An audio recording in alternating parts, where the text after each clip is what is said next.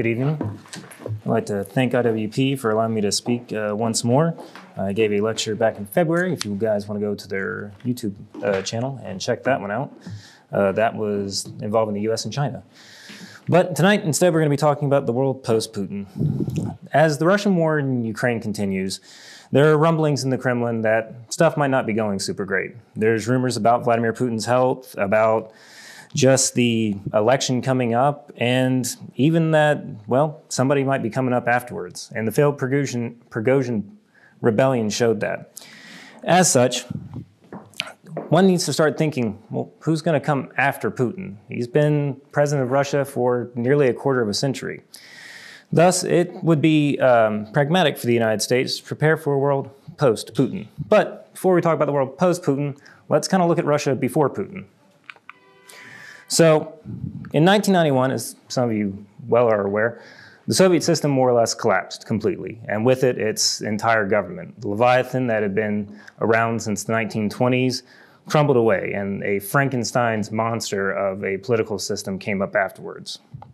The men who more or less brought this monster to life were no longer the apparatchiks of the state, but now wealthy capitalists who had used their inner uh, connections and monetary means to essentially buy out what was the Russian industry.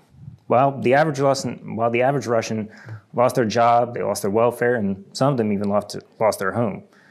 And this whole system was being held together by a maybe drunk premier who was battling a Chechen rebellion, a communist coup, and was still trying to ensure that, well, you know, the Soviet, now Russian sphere of influence was still there.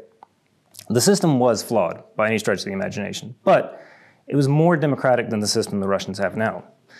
Yeltsin and his family, his inner circle, had the task of building a functional state from a system that hadn't really had a state in a while other than the party. And as such, they had a very strong challenge ahead. However, the system realistically only lasted until Putin took power in 1999.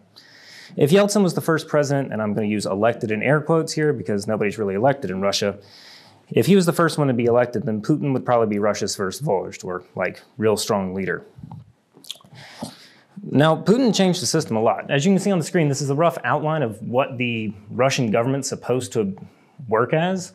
The Federal Assembly is supposed to be more or less their congressional side. It's supposed to make the laws, etc. The president of Russia is supposed to execute those laws, and then you have two different courts the Constitutional Court and the Supreme Court. The Supreme Court handles criminal cases, and the Constitutional Court handles constitutional cases. And this is how the system's supposed to work. But over his nearly quarter century in power, Putin has solidified a system solely around him and his cult of personality. Now, for us, some people might be alarmed if something like that were to happen here, obviously. But in Russia, not so much. As of the time of when I wrote this, Putin still has about an 80% approval rating, which is pretty dramatic. And that allowed him to push further and further and more reforms, like in 2020, when he pushed forward reforms that solidified his power as president. Now, in theory, it was supposed to, to devolve power, but in reality, it allowed him to run for two more terms after this one. Putin is admired by his people, as I mentioned, with his high approval rating. People, when they complain, they don't complain to themselves, they don't have a march or anything, they complain to Putin to fix the problem down below. And as such, he plays both mob boss and king. And so, pretty much. And as such, he pretty much is feared by his enemies, but really loved by the people that adore him. But all this really kind of comes into effect when you start to realize, well, the man's 71. So there's two different ways Putin could be, well, deposed, for lack of a better term. First, well, as I mentioned, he's 71. He is mortal. And the average lifespan of a Russian male is about 65 to 67 years old. So he is well above what is what they consider, uh, you know, old. There's rumors being floated around that he has a terminal illness, anything from cancer to uh, brain tumors to Parkinson's. As you can see, is the famous photo of him grasping the desk and not really knowing what was going on there. There also is the fact that, well, the Russian elites have had a trouble going upstairs, falling out of windows, drinking bad tea, etc. And that kind of leads into the second way he could lose power, would be a palace coup. For those that don't know, a palace coup is generally where people on the inside, well, get rid of the head of the state. And while that might seem unfathomable to us, it's not actually that far fetched. There's a lot of discontent amongst the Russian elites that he's not going fur- further enough in the war, that he's more or less holding back. And as such, Russia, at the time of writing, has lost uh, between 230 to 280,000 men, both KIA and MIA, in the war thus far. And so, with that unhappiness, it's re- led to a more hawkish wing of his party to really be discontent. The guy down there is Igor Girkin, aka Strelkov, who is a leader of the more aggressive wing, as I should say, of the Russian faction. But regardless of who comes next, there are three scenarios I could see playing out when Putin eventually either dies or gets deposed. The first of which is what I've aptly named the Gang of Four. I hope people can read the names on those. So, this Gang of Four are the men that essentially run the internal security state of Russia. From left to right, it's Nikolai Patrushev, Alex Bortnikov, Uh, Vladimir Kolovtsev, and Sergei Narishk. Narishk, yeah. And all of them, being the heads of the internal state, would actually be very well poised to take over. Russia actually has a precedent of having at least a troika, or three members, in this case four members, take over the state before it eventually solidifies around one person. When Stalin died, it was the troika led by Khrushchev, who eventually became premier. While these men probably wouldn't vie for the presidency, it's very likely that they would use Medved as a puppet. He's already played puppet once when he was quote unquote president uh, back in, I think it was 2008.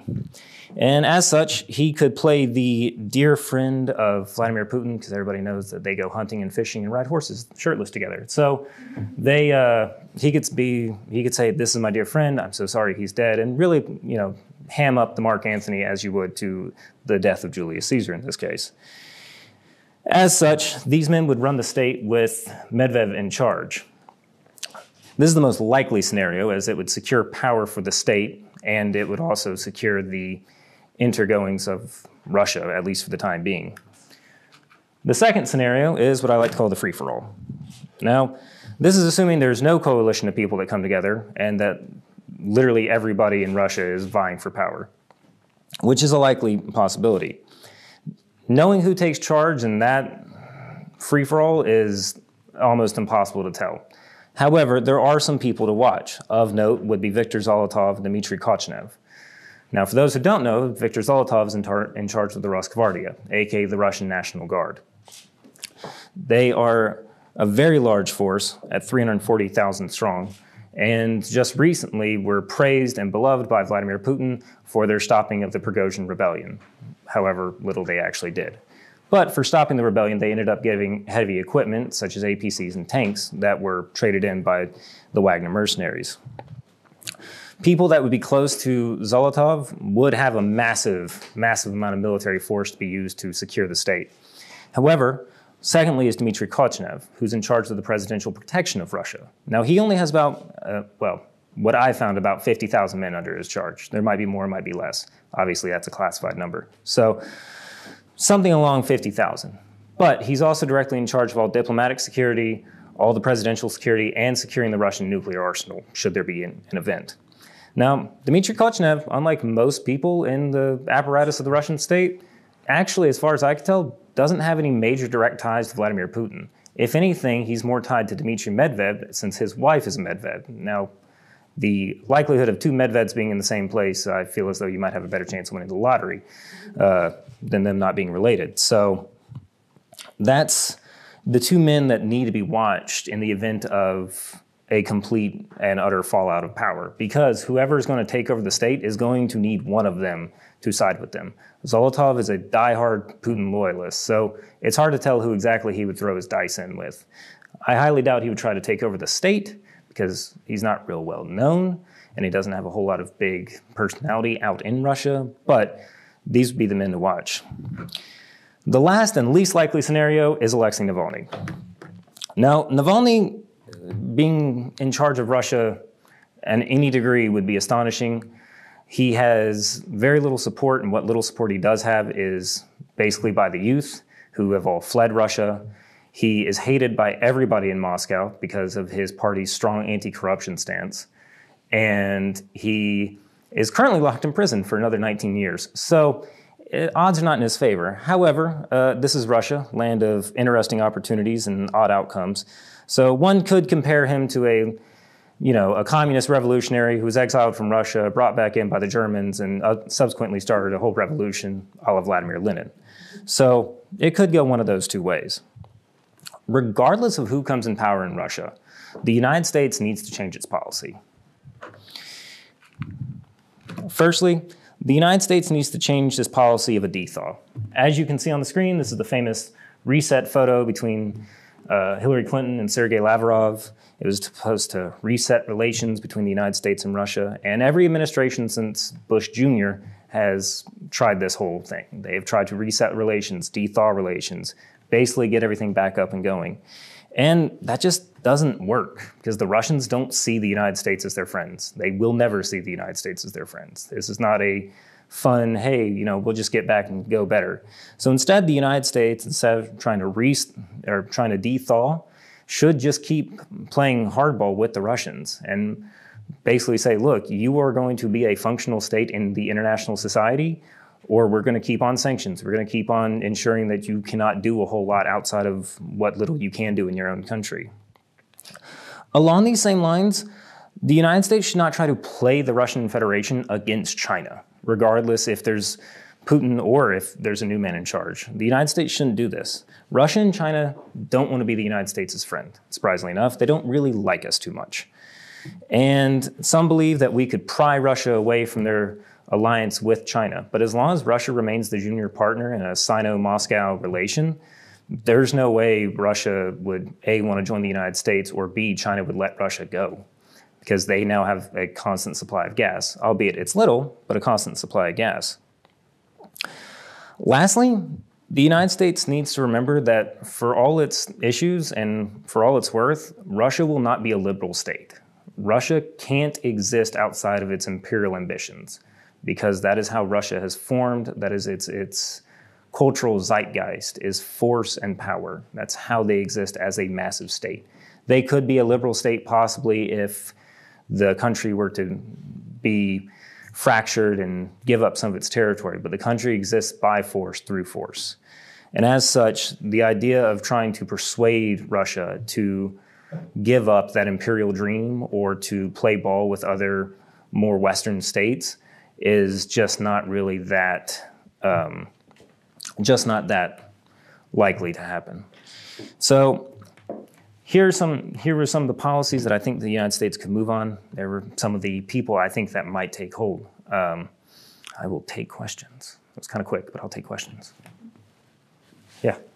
Uh, your figures for Putin's popularity. Yes, ma'am. Uh, where'd you get that? Um, those were from I think those were from a Pew Research poll done about a year ago. So nothing super recent, but still within a time frame that would be comparable to what it is now. Because if you notice, when Vladimir Putin or Dmitry Medvedev were in charge, whenever they started slipping in the polls, they start pulling off power plays. 2008, Putin annexes uh, uh, Ossetia and Abkhazia.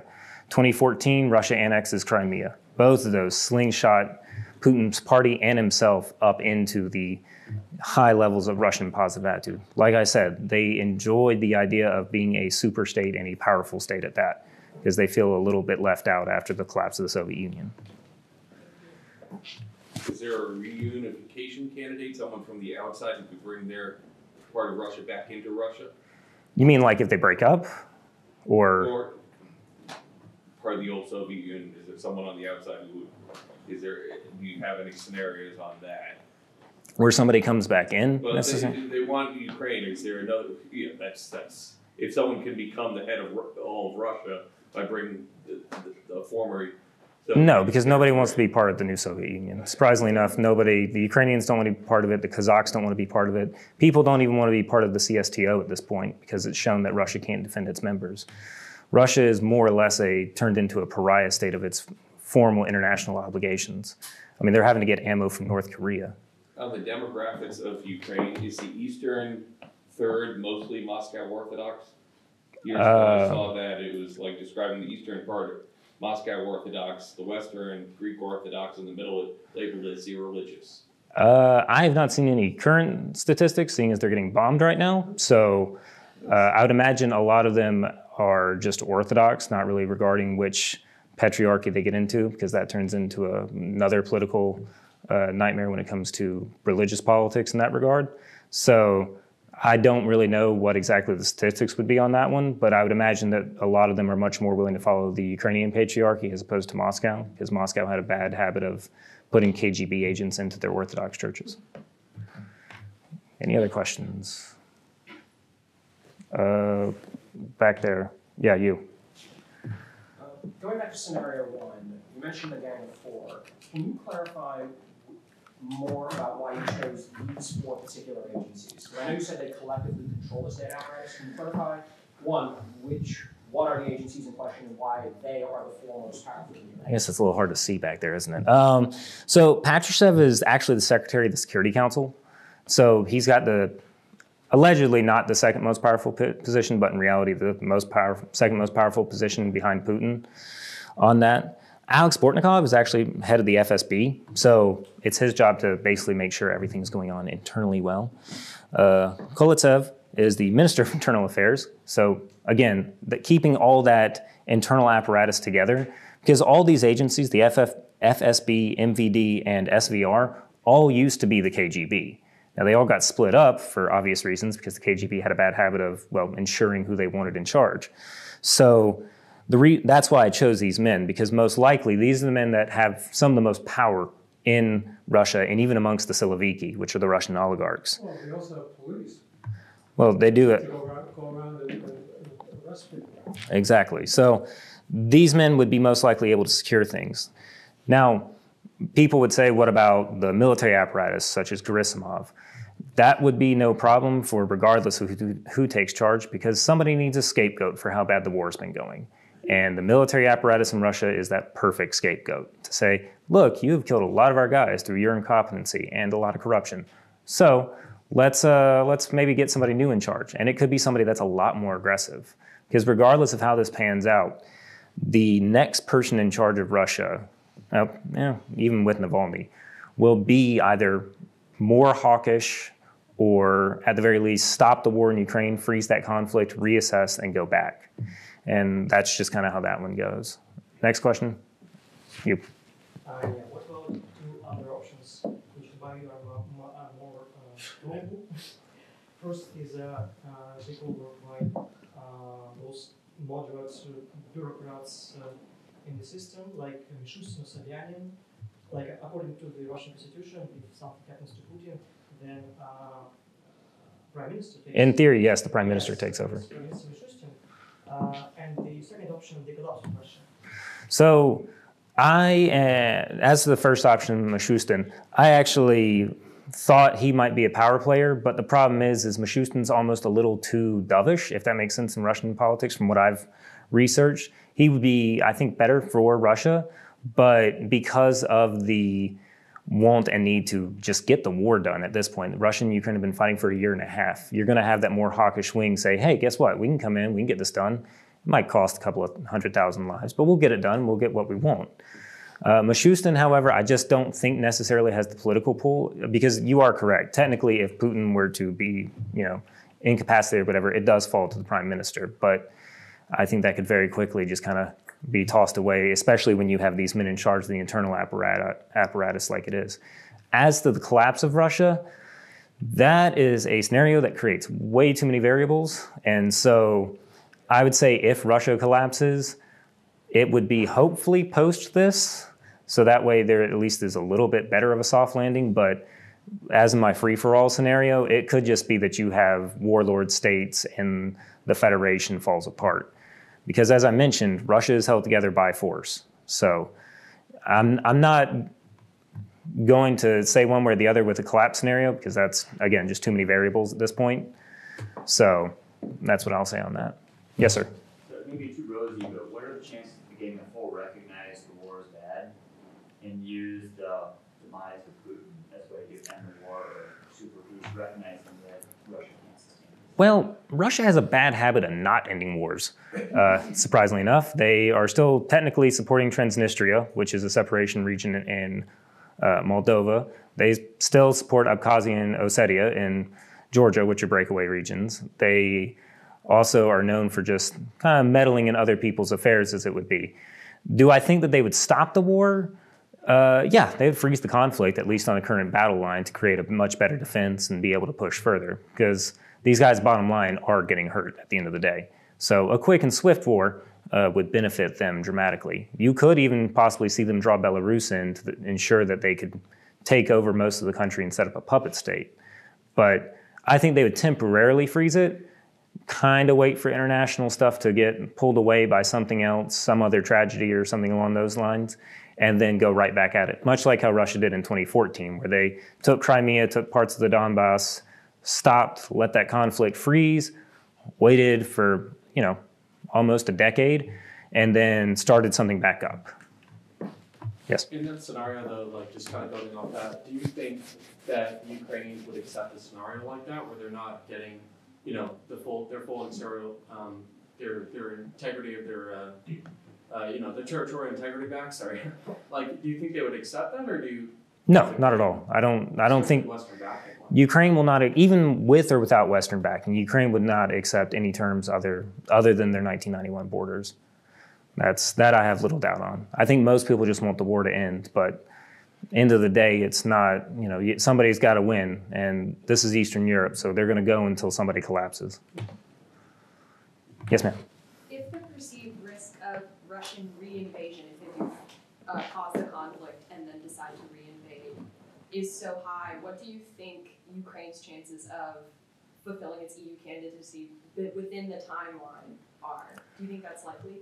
Uh, probably not, because the EU is its own political animal with its own issues. You have the Germans and the French complaining about the Hungarians, who are also complaining about the Poles, who complain about everybody else. They have their own internal struggles. People think politics here is insane. The EU is something else. So whether or not they would actually get full candidate status or like actually join, I don't know. There is the possibility that worst case scenario, Russia takes everything up to, you know, what used to be West or what is Western Ukraine right now, leaves that as a rump state. It's possible that that could join the EU, but at that point, it would be more of an economic burden than it would be anything else. Than wouldn't bring anything to the table. Ukraine, under its 1991 borders, has some of the most valuable resources for Europe, so that's what they'd be shooting for. Yes, ma'am. Hi.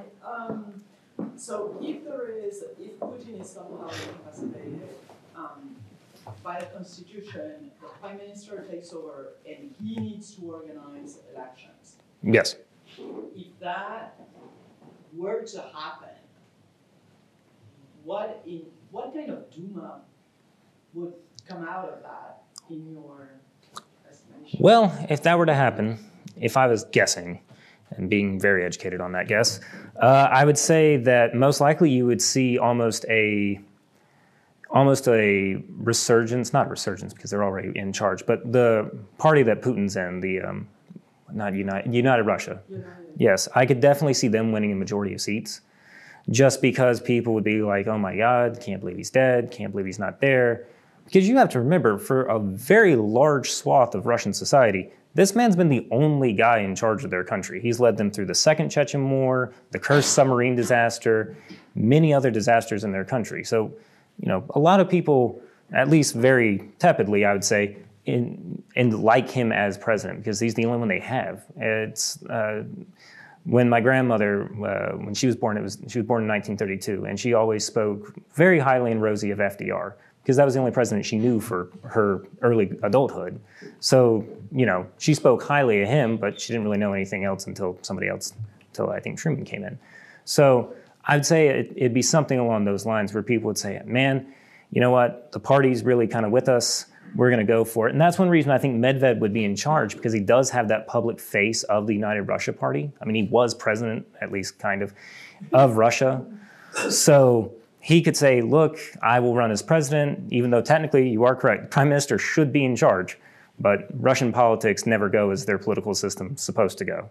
I think just recently, um, I think it was Sergei Lavrov or one of the Russian ministers came out and said, oh, yeah, we know that we won the election held next year.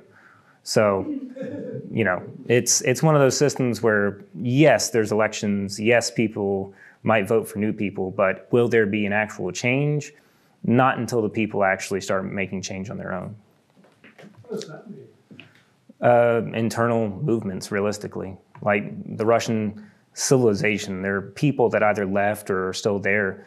They need to, I don't know, demonstrate, have protests, and I understand how challenging that is in a police state like Russia, but that's the only way that system's going to change.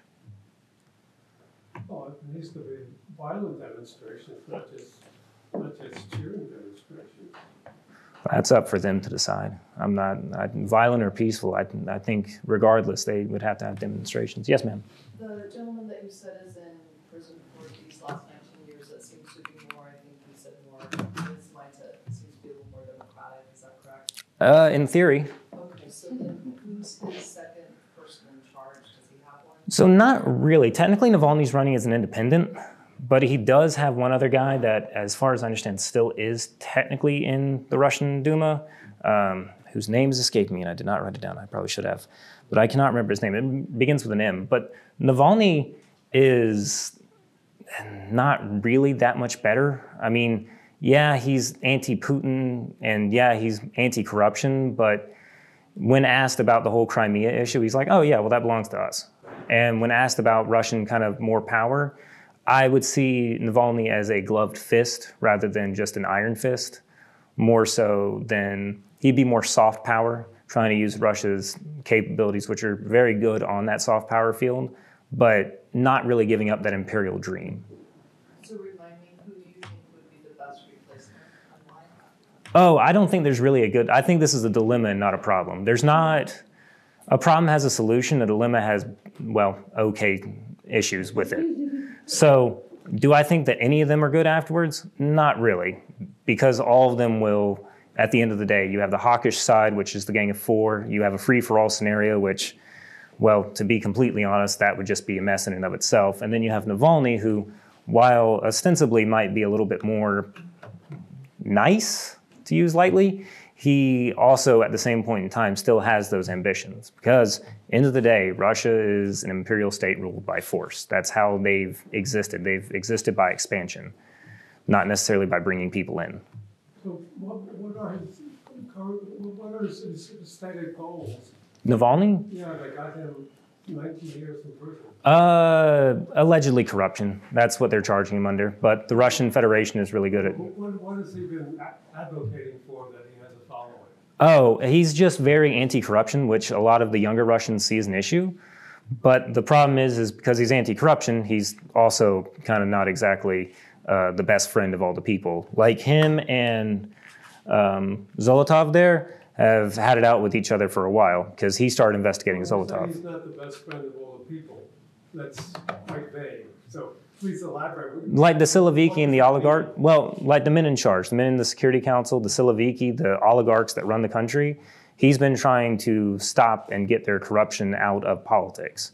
The problem is, he in of himself is actually kind of corrupt, not as corrupt as them, but they don't want him to come in and start that process, obviously because they don't want to lose their money, but also because he's considered opposition to them. And so they just don't want him to come snooping around, if that makes sense. Uh, I got a question over here, and then I'll get to you. back a little bit to the demographics, but more a change from when the Ukraine war started and now. I know the Russian Orthodox leaders came out supporting Putin's move, like he was saving souls Mhm. of those of the Moscow church in Ukraine. Have they backed away from that the war is justified, the religious leaders? Not to my knowledge, no. They've, I mean, they've been blessing missiles like it's gone out of style. Going, holding back a little bit if he's trying not to lose that relationship. I wasn't sure if that. Who, Vladimir Putin? Putin in Russia, eh, in Ukraine, you said leaders were complaining that he's like holding back. Holding back militarily. Right, but he's maybe afraid of losing people who he supposedly is saving their souls. Well, there's a little bit of that, but there also runs the fact that Russia has elections in March. And another mobilization wave, A, could actually lead to more people leaving the country like the first one did, or B, actually start pulling people from the European side of Russia, which is a little bit more uh, not too uh, not as, I guess, ignorant of what's going on as opposed to the people that live all the way in Siberia. And so there runs the risk of that spiraling out of control. So that's why I think Putin's holding back considerably because I don't think he, I think he thought that, hey, this is going to be a three day war. We got this over in the bag, quick done. You know, we took Crimea in like a day. You know, they took Georgia in, I think, a week. So, you know, going to be easy. Turns out, not so much. Well, he wasn't alone. He wasn't alone in thinking they could capture in three days. No, he wasn't alone in that. But the United States also thought that. Well, the United States was wrong on that one. Yes, sir. How would you see the uh, impact of economics and maybe the impact of either cost of war or sanctions and the impact of sort of oligarchs? Along the economic lines, I'm not 100% sure because none of the the oligarchs have their spot in charge. Of the, like the head of Gazprom has his spot. The like the head of Rossiya, you know, Russia One is uh, Vladimir Putin's gymnast girlfriend. Uh, so I don't really know. Obviously, it would hurt their bottom line, and they would try to push for an end quicker because they kind of want to make money of the day. But as long as they can skim some off the top or be placated, I think that it would behoove them. But that kind of leads to the point of my uh, point about the United States. If there's a change in leadership in Russia, we can't just instantly say, "Hey, sanctions are up. You're now part of the international society now that you know your former leader's done," because well, the oligarchs will eventually start feeling the pain of the money, as you know they are feeling now, and so that could lead to more fracturing, more breakups, another coup, a centralization of power along one line or the other. Because even a lot of the mega corporations in Russia now are f- filling their own private military companies to protect their assets. Which, you know, if the whole structure falls down, well, you know, they at least will make sure that theirs keep on going. Does that answer your question, kind of?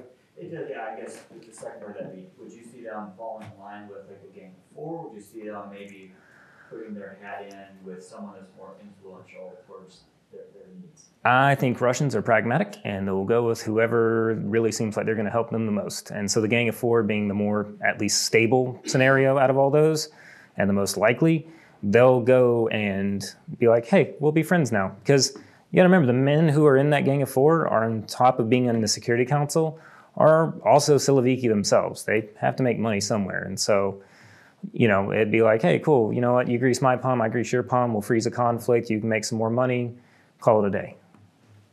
Any other questions? Yes, ma'am. Um, so you mentioned that instead of the U.S. resetting ties with Russia, you would suggest the U.S. to continue sanctioning Russia. Mhm. Do you worry about Russia um, increasing like trade with North Korea, specifically weapon trade? No, not really, because there's only so much trade Russia can deal with either China or North Korea because the infrastructure just isn't there. Russia's economy was very geared towards the Europeans and their market. And as far as I understand, unless they built a new railway, the only way in or out of the Asia side of Russia to the European side of Russia is the Trans Siberian Railway, which can only do so much. So I don't really, you're seeing this now that China and North Korea can't really pick up the economic loss that Russia's been hit with on their European sectors. And as such, yeah, you know what? They may make a couple of bucks off of a North Korean artillery shell that might blow up halfway in transit. Mm-hmm. But that's a, I don't think it's going to be able to pick up their economy to any great extent because they just don't have the infrastructure there to shift east. Now, maybe 10, five years down, you know, five, 10 years down the line, 15 years down the line, they might have more infrastructure that way, seeing as the West not being a viable option, but that's a little far out. Any other questions? Comments, concerns? Yeah. Concerning the chain of custody of the nuclear stockpile, would it be the Gang of Four that's somewhere that that's where the, I guess, the Strategic Missile Command answers to, or it, so let me rephrase the question.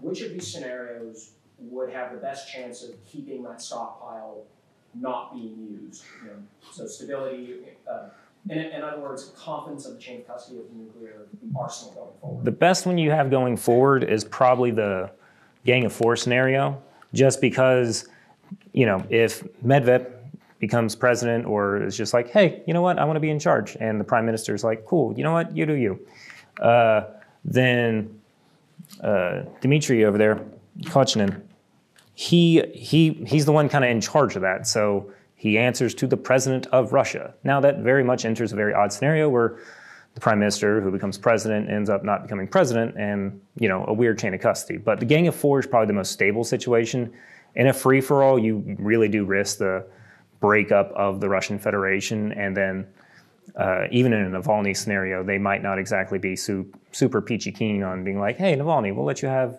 access to some of the nukes." So, Sure.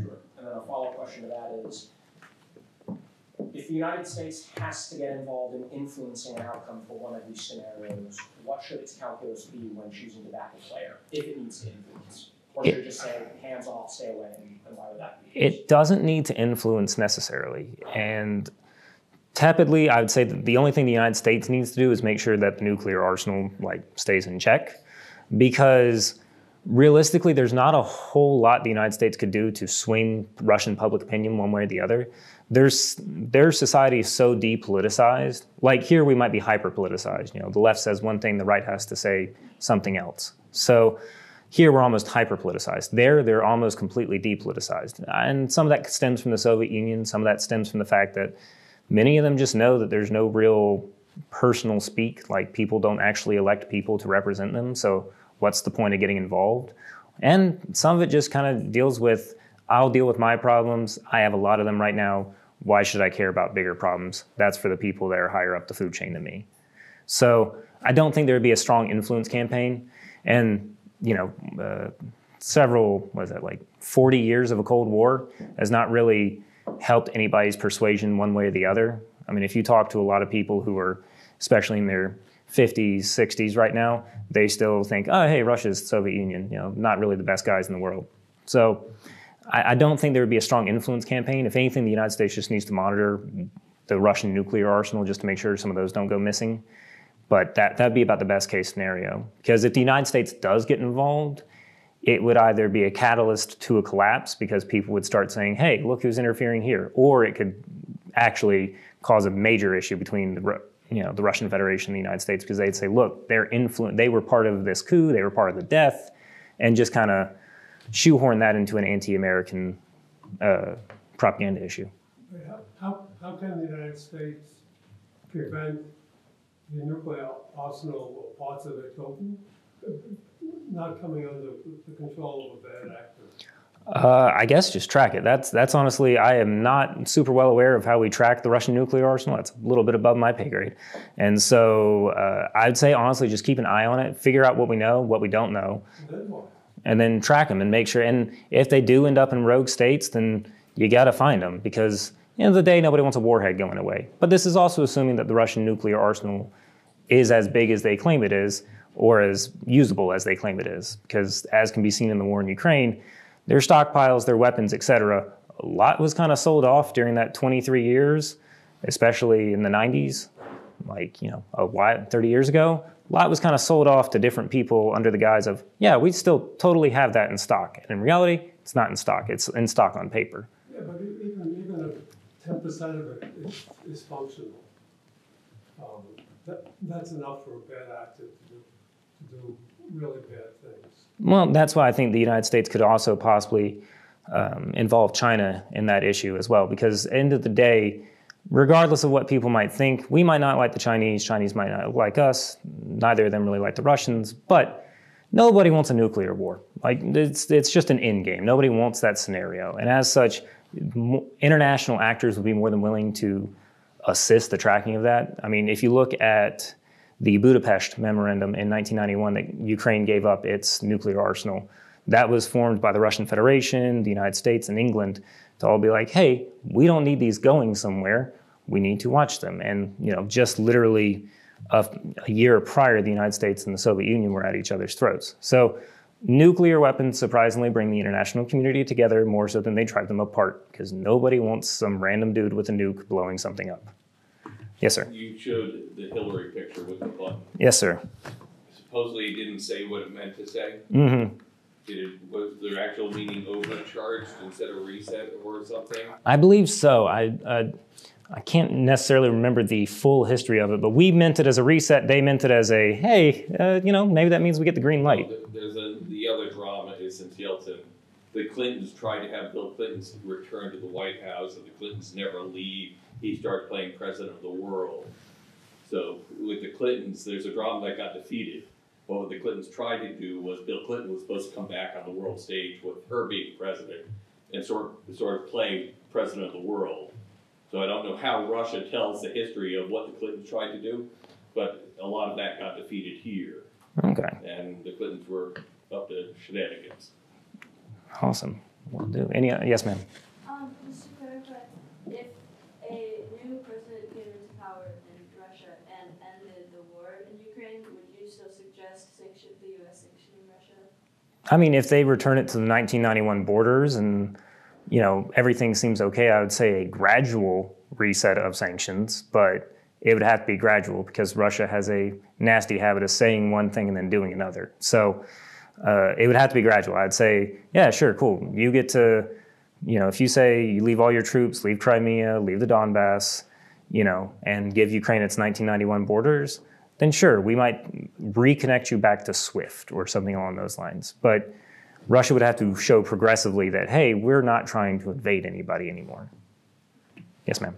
As a follow-up question, if then the only reason that one of your predicted successors would freeze the conflict would be to go back in, does it make sense for the US to lift sanctions, albeit gradually, if the prediction is that Ukraine is, to put it pessimistically, kind of doomed? Well, in in the scenario where they freeze it, the lines would stay where they are, right? There wouldn't be a regression of Russian troops back across the border. There wouldn't be a deoccupation of Crimea. But if that happens, then no, the United States should keep playing hardball and keep up the sanctions because it's you know Russia just kind of steamrolling everything. If you start giving up the sanctions, then they won't necessarily, you know, they'll start having money coming back through, they'll start having monetary gains, and that funds a war a lot quicker. If by some chance they rescind back to their border, yes, the United States could slowly give away sanctions, but at the same point in time, hopefully while that's going along, Ukraine would also become either at least a uh, a part of NATO or a part of the EU, and at least have some defensive alliance with a greater power, or the Europeans or the Americans. Yes, sir. Russia, I guess, had one fu- functioning tank factory at the beginning of the war, and now it has two. Uh, and, and now they've, they've learned how, how to make the, the modern optics for, for tanks. You know, the big, the big question is, can we ramp up our sanctions in a much more aggressive manner so that Russia does collapse economically as opposed to ju- just going little step by step? So I mean, I would say go go whole hog. I mean, sanction it to oblivion, put it in a North Korea situation. But I'm not a politician, and I understand there has to be a little bit more tact with some of that stuff because if you incre- if you just go from zero to hundred, that doesn't exactly look as tactful as going from incrementals. we're, we're essentially at war. What, why do we have to be tactful? Because we're not at war. Well, we're, okay, we're at pseudo war. I mean, it's because you can't, there's two sides to that. A, you have to sell it publicly, and B, you have to sell it internationally. International sales are a little bit harder, especially when you say, hey, by the way, we're going to also hurt a lot of other economies by doing that. If you do it gradually, it not only allows people time to say, hey, maybe this is not the best idea, and it also can give a little bit of a warning light, like, hey, we're going to keep on moving this up if you don't stop. I saw. Yes, ma'am. Um, so none of your scenario envision a, you know, social revolution. Yep. Okay, can you explain why? Well, as I mentioned to the previous question, the Russian society, the people that were the most politically involved were the young people, and a lot of them left during the first mobilization. A lot of them moved to Georgia, Turkey, Kazakhstan, etc. And so, what few people actually would have been more mobile on that stage uh, left. And as such, the rest of the more middle-aged Russian society is just depoliticized. They don't. They're very apathetic to just anything going on. They don't care. They're they're just they exist, and it's and a lot of that is a byproduct of the Soviet system. You have a lot of people who, for I mean, politics didn't really matter to them because, well, I mean, it, they didn't really get to choose anything. So instead, they just survived. And along those same lines, you're seeing a lot of Russians in that same general mindset of, well, you know, I'm just kind of surviving. Politics is for the politicians, not really my cup of tea. And some of that might just be a more of a cultural thing. It might be a little bit more of a zeitgeist type thing for their own society.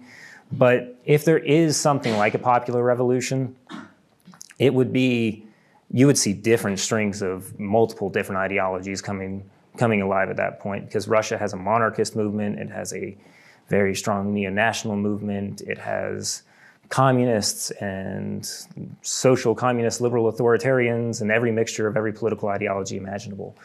And that's kind of one reason that the United Russia Party has been able to stay in charge is you have the communists as pseudo opposition, but then the rest of the political parties have either been banned, stopped, or thrown in prison due to being a possible threat to the regime. So you, because what you saw at the beginning of the war were some protests, but it didn't go far enough to actually cause an issue because very quickly the police in Russia very quickly clamped those down, stopped it. You're going to prison. You're going to go do this, go do that. Oh, you said something bad, prison. So it's one of those scenarios where the young people that would be doing that aren't there. And the older people that just don't care or actually like the United Russia Party are there. And so it's just not really, there's nobody there to start said revolutionary ideas necessarily. Yep. Um, if Putin has to mobilize, again, Mhm. a large number, like several hundred thousand uh, combatants for Ukraine next spring, Mhm. and that he now has to rely on um, Western Russians. Mhm. Um, do you see this, you know, shifting? This may be fueling. It um, could be possible. very social movement. A historical example would be in 1916, Right. right before the revolution. Um, so historically, yes, but I, I'm not 100% sure because I don't, I don't think he'll mobilize until after the March elections because it just politically wouldn't look good for him regardless. Right, right. Well, even if he were to even if he were to mobilize it's unknown right now what exactly people would feel because i yes you would start pulling people from the european side of russia which makes it a much more hey this is actually a war type scenario but i mean ukraine's been launching missiles at russia for about the past four months and actually deep inside russian territory and a lot of moscow citizens are like oh man that that's kind of weird it sucks building blew up yesterday and then just go on with their lives. So I would say that there's the possibility of especially uh, younger ish to more middle aged people becoming more involved in something in that regard.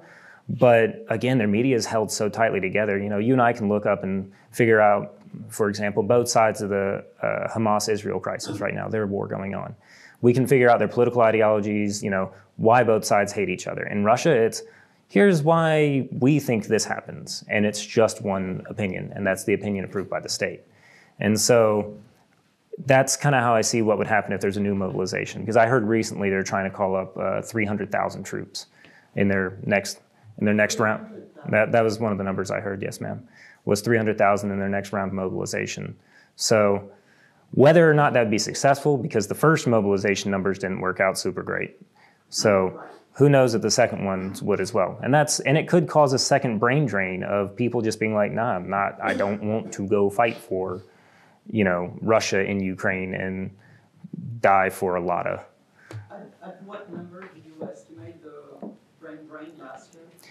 Um, as far as i remember hearing seeing the estimates it was somewhere north of a million of just younger russians fleeing the ones that could too and those are those are generally the middle class to upper class russians who have the financial and social means to escape. Generally, it's the poorer village people that get stuck with the fighting. Yes, ma'am, and I'll get to you. No, you first, then him. Um, what success do you see in the U.S. completely sanctioning North Korea that you would suggest that the U.S. follows, or even the West completely sanctioning North Korea for you to suggest that the U.S. should completely follow the exact same pattern with Russia? Well, with North Korea, it's worked out fairly well. The only reason North Korea gets supplies is because of China, predominantly, or through their um, very, very uh, complicated uh, crypto and other ways they make money. They actually steal a lot of information from Sony and places like that and then resell it back to the companies. It's almost like a digital blackmail. And that's how they make a lot of their money. I'm not saying that the sanctions would totally, obviously, Russia's a much larger country than North Korea, but as you can, as I'm sure you can see in the news sometimes, North Korea is not exactly a happy-go-lucky place. As far as I understand, they're still in the middle of a horrible famine, arguably worse than in the 90s.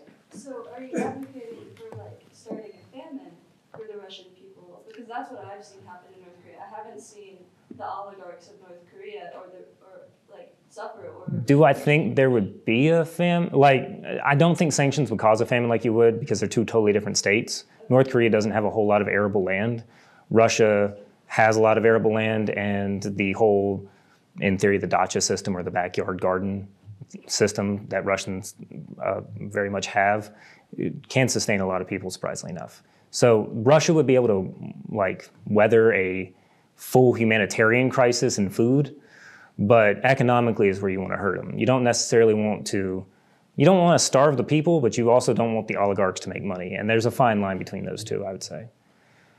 Yes, sir. So given the situation that Putin dies or is killed, whatever, Mhm. and I think that we, most people would agree that that's kind of the only situation in which the Russian state would, like, has the high possibility of collapsing.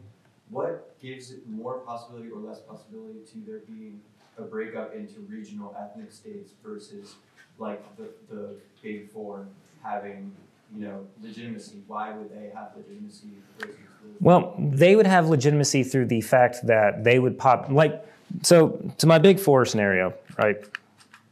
Back here. These guys would run the state behind the scenes, right? Medved would be the guy in charge. He would be the guy giving out the photos, waving the hands, you know, all that fun stuff. He'd be the guy in charge. And, you know, again, he was president once, so people at least know him. You know, they know of him. He's fairly kind of liked, at least to an extent. And so they would trout him out as the end all be all. Oh my God, Putin's dead. Here's this dude who, for a lot of people, somewhat might think he, you know, he at one point was a successor as an idea. But it would be, as to the Russian state collapse thing, I don't necessarily see that happening immediately. Could that happen six months, a year, you know, however long down the line? Possibly. But if it breaks up, then it would be that would be a geopolitical nightmare, to say the least, because you would have smaller ethnic states. You would have Siberia out on its own. You'd have the Caucasus in a religious, ethnic, and general hatred of each other war. Um, Russia would rescind to what I would call probably its core lands, mostly around uh, Muscovy and Novgorod, or not Novgorod, uh, St. Petersburg, that's what it's called, um, St. Petersburg, et cetera. And that would be kind of where a rump state would sit. But whether or not people want that scenario, that's a different question. Um, I mean, whether or not people want it, it might happen, so be prepared for it. But it's not really a, it adds too many variables into this necessarily if I start going into that, because I did initially add that in and I was like, this is getting like, I need string and thumbtacks and ways to follow it. Yeah. I think that those, those regional ethnic leaders, all the governors that have been appointed by Putin in those regions would use the opportunity as a power grab, or would they, you know, secede to the There's a possibility of that, but the the the struggle is that these men control the state internal apparatuses. So, oh man, well, Sergey over here really sounds like he doesn't want to be governor, or he might secede. Well, Sergey's car might get blown up, or thrown out a window, or something along those lines, because these men are the eyes and ears of the internal Russian state. They know what's going to happen before it happens, in a sense. So, and with Prigozhin and his poo, poo, poo coup, sorry, out of the way, uh, it's it, it doesn't. He had the strongest independent military in Russia, and so outside of him, there wasn't really anybody else. Because I actually had to rewrite this because he died while I was like typing this down. I was like, well, there goes half my speech right now. So, yes, back there. Yep. Uh, what, would, what, what do you think would be uh, the role of uh, those military formations comprised of Russians fighting on the Ukrainian side, or for the Ukraine, like Russian volunteer for freedom of, of, of Russia legion, uh, Siberia battalion, uh, Ingria uh, battalion, in the case of uh, Russia's collapse? In the case of the Russia collapse, or it's just its military, its military front collapse, I would see those men still working very highly and well with the Ukrainian government, and then subsequently, after Ukraine is saying, "Hey, we can kind of handle this on our own," or "Hey, you can go just like cause a lot of issues in Russia," that'd be awesome. I could see Ukraine using them in almost a sabotage style role in that regard because, end of the day, they're not, and they're not exactly great people either. Like, there's not really a I know some of the volunteer corps, especially the Russian volunteer corps, has been known to having more uh, nationalistic, fascistic kind of views, at least with some of them. And so, you know, at the end of the day, you could toss them into the Russian Federation and cause a lot of problems. Do I think that they would become like minor warlords or something? Possibly in the event of a total collapse, but that would be a little bit too far the rabbit hole as, as I could get. Uh, I'm going to go back and then we're going to circle front. So you first.